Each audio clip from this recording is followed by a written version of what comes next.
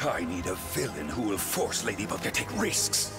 And without even realizing it, she'll make a mistake. Great. Of course my keys disappear from my bag just when I have to go out. Now even benches have anti-pigeon spikes on them? Oh, oh my poor friends. Froggy, come back! It's too dangerous! Why are you always scared of everything? I want to ride my bike without a helmet, without training wheels! Perfect.